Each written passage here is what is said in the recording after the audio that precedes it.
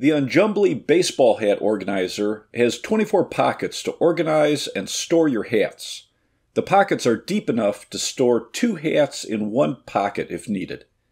It comes with three two sided over the door hooks for wide or narrow doors.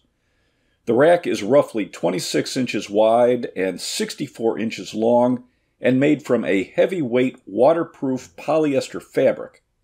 5% of all the sales are donated to support children in need in Nepal.